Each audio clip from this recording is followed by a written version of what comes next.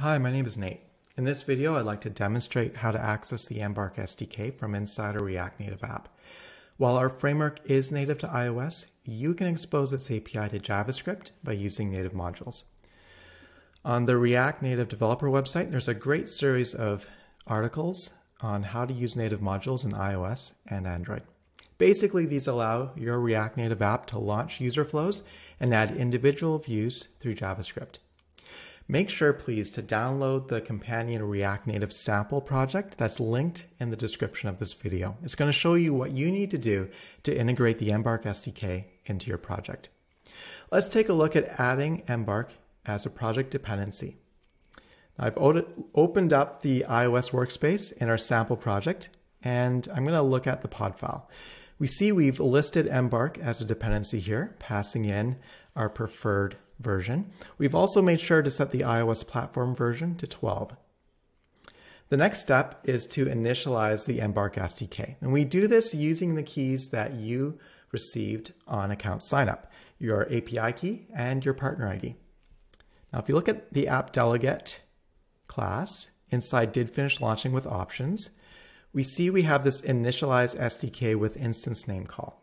Here's where we pass in a bunch of useful information to connect your app to the mbark platform. Here we can pass in your remote config ID or your partner ID and your API key. Now, if we'd rather not manually enter these keys, what we can do is call a simplified version of this initialize method, relying on a mbark-info plist file where we can manage these keys. We have a couple of useful classes in this example project. The first is React mbark. It extends React Event Emitter and conforms to the React Bridge module. Now, if we take a look at the implementation of this, we see we're, we're actually exporting this module to React Native along with the individual methods that we'd like to access in our project. We also have a couple of UI helper methods or helper classes. Uh, this one, React mbark View Manager, extends React View Manager and serves up instances of the mbark controller view. Now this mbark controller view allows us to pass in a screen ID. It will construct a remotely managed screen from this ID, wrap it in a UI view, and serve it to our React Native view hierarchy. Now, if we were to run this app, we see we have our React Native app here we launched the flow and what we're looking at right now is remotely managed UI that's being instantiated through the mbark framework. We can pass through this onboarding flow. We'll enable notifications later. And once it's done, it closes and passes control back to the React Native app. Now, if we were to open up Visual Studio Code and take a look at some TypeScript and JavaScript, we'll notice a couple of useful files.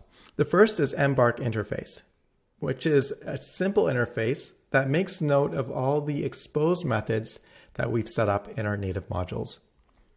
We also have mbark View, which allows us to pass a screen ID to the mbark framework and get back an mbark View controller wrapped in a UI view. Now, we also have an example of how we launch this, this uh, onboarding flow that we just went through in the simulator in landing screen. So in this view, we have what's called an mbark button, which is just a simple button we've created. And we've added a on-press event handler to it. And we make a couple of SDK calls. The first is to track flow start.